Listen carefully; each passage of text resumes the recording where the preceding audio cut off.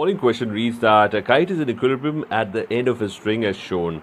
So there's a string, uh, this is the weight of the kite and the kite is in equilibrium. The kite has three forces acting on it, the weight W.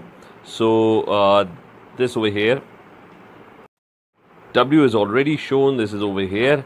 Uh, there's a tension T in the string, so tension T is going to be in this direction. Tension T in the string, the kite, uh, the string is pulling the kite and the force F from the wind.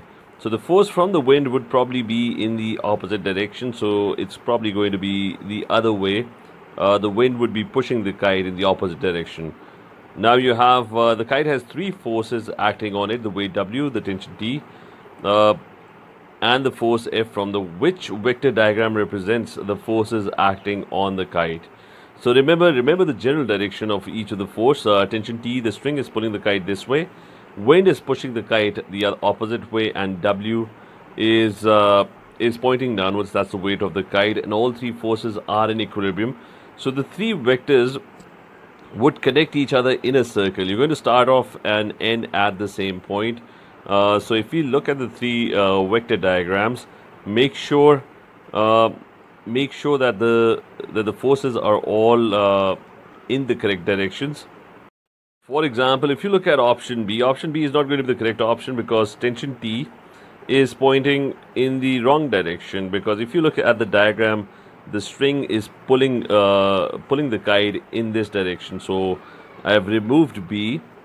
Similarly, if you look at option D, D would also be an incorrect option because uh, the force from the wind is pointing in the wrong direction. They've drawn a vector in this direction, but in our, in our diagram, we know that the wind is pointing or pulling this uh, kite in the opposite direction. So I've uh, gotten rid of D as well.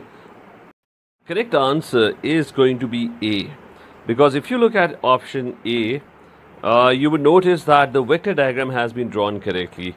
Remember both in C and in A, uh, the forces are pointing in the correct direction, but the vector diagram in A has been drawn correctly. Remember there was zero resultant, which means that if I apply the head to tail rule, if I start at uh, W and this is the first vector, then I then I attach the second vector uh, to the first vector and then I attach the third vector, the resultant is going to be zero because uh, they all reach the same point, which means there is no resultant. So A, according to A, resultant is zero, which is why I'm selecting selecting A there is no resultant force. But the vector diagram for C has been drawn incorrectly because if you apply the head to tail rule, uh, there's a force, uh, the tension in the string that's pulling downwards, then the, then the second vector is attached to the first one. Then W is actually acting as a resultant because if you start from the first tail and you end at the head of the second vector, then W is basically acting as a resultant of TNF, which is wrong because uh, what the diagram basically stated was that all three forces had no resultant. They were they were at, they were at equilibrium. They had no resultant, which means that a head-to-tail vector diagram would come back and reach the same point. There would be no resultant force.